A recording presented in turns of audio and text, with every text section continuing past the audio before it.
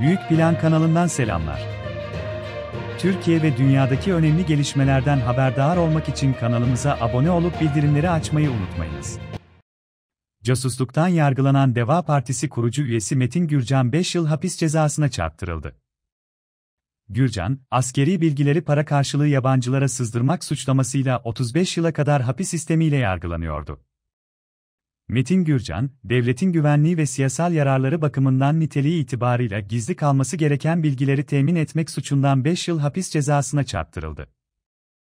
Yabancı misyon temsilcilerine casusluk yaptığı suçlamasıyla yargılanan Gürcan'ın, Ankara 26. Ağır Ceza Mahkemesi'ndeki davasında karar açıklandı. Kamu güvenliği gerekçesiyle kapalı görülen duruşmaya, tutuksuz sanık Gürcan ve avukatları katıldı. Alınan bilgiye göre, önceki celse dava dosyasına sunulan esas hakkında mütalaya karşı savunma yapması için sanık ve avukatlarına söz verildi.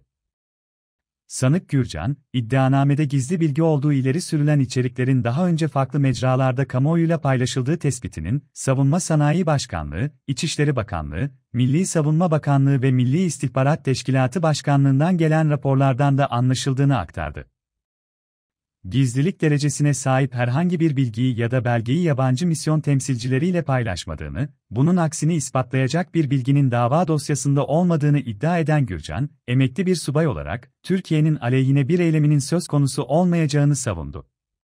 Soruşturma aşamasında 7 ay tutuklu kaldığını belirten Gürcan, beraatini istedi. Sanık avukatlarının beyanını da alan mahkeme heyeti, ardından kararı açıkladı.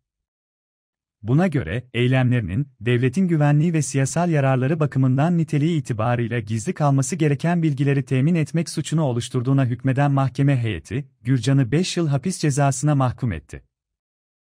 İddianame ve mütalada, devletin güvenliğine ilişkin gizli kalması gereken bilgileri casusluk maksadıyla zincirleme biçimde açıklamaktan müebbet, devletin gizli kalması gereken bilgilerini siyasal veya askeri casusluk amacıyla zincirleme biçimde temin etmekten ise 35 yıla kadar hapsi istenen Gürcan'ın bu suçlardan beraatına karar verildi.